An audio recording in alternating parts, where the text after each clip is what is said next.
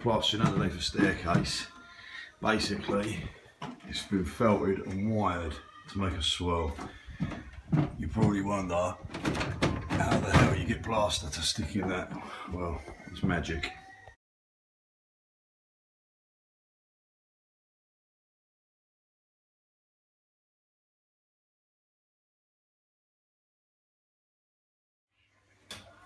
Right, that's the first coat. Basically, it's bonding mixed with cement. The cement goes in it just to kick it off a bit quicker. Um, so basically, instead of having like the loose mesh flapping around, it'll be nice and tight. So look, you can't be seen very well, it's not a very good angle. Right, we'll put a little bit of uh, cement into the bonding to kick it off a little bit. Makes it set a bit quicker. A lot of other plasters A lot of other plasters probably do this. Some will probably have something to say about it.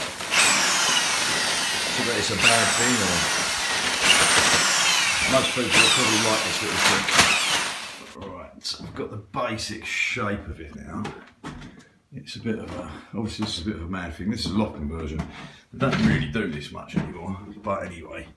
I'm not going to mess about a bit much more. I'll shave it back a bit when it's set. I don't want to push my luck. Well, I've already pushed my luck using wet plaster to try and do it out. That's what happens. It all falls down.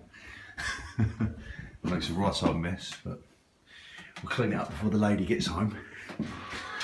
All right, now, I've scraped back, scraped it back a bit, got it to the basic shape with the bonding of how we want it. I'm just going to give it a coat of PVA just to seal it up because it's all very dry. That cement obviously as well will kick off the, the finish, the multi-finish plaster. So give it a nice healthy coat. Don't be too stingy with it. Uh, yeah, then it'll be ready for skimming.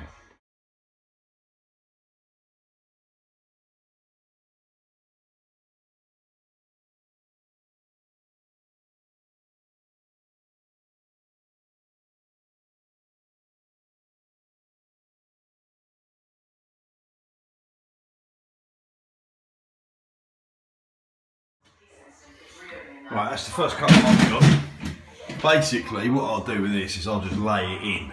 I won't flatten it and then put another coat on. I'll lay another coat into it. Um, it looks really rough, obviously a lot rougher than you normally put normal plaster on. But um, obviously, it's hard to get it flat when it's fucking that sort of shape. Okay, right, we'll have another little look afterwards. We'll have a little look down here. Maybe look from downstairs.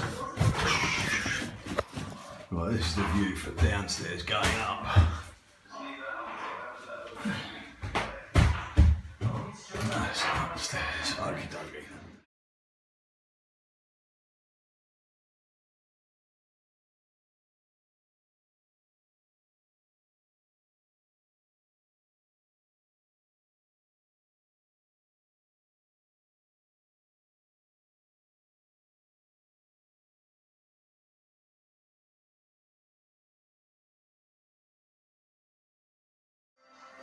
Right, it's all laid in. I would just a bit of advice. As you can see, you can see ripples in it, like as if like they're waves. You'd rather have things protruding right now than like dents in it, like like gouges out of it, because they'll be harder to fix. This stuff on the top will just move around. Once I start trowning it up, I'll get it moving. I'll just as a matter of point, plaster that wall as well.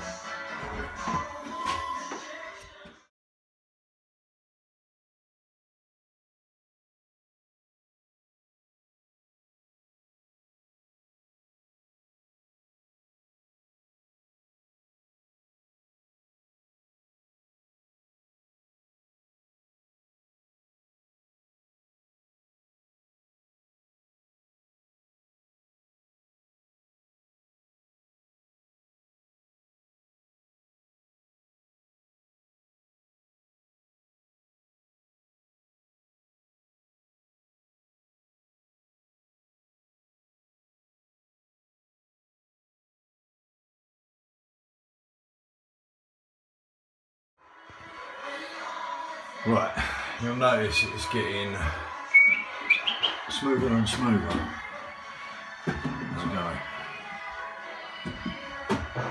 Just a case of working it and working it, but working it at the right time.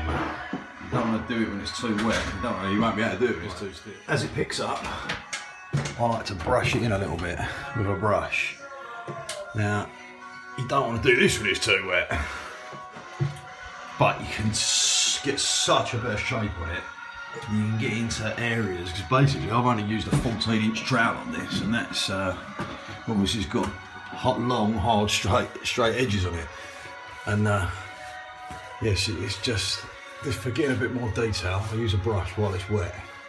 What I'll do is I'll let that pick up a bit more, and then I'll use the trowel again, and we should be a bit closer to having it finished. Let's have a look, see if shape. It's not a very nice shape, in, in all fairness, but it is what it is.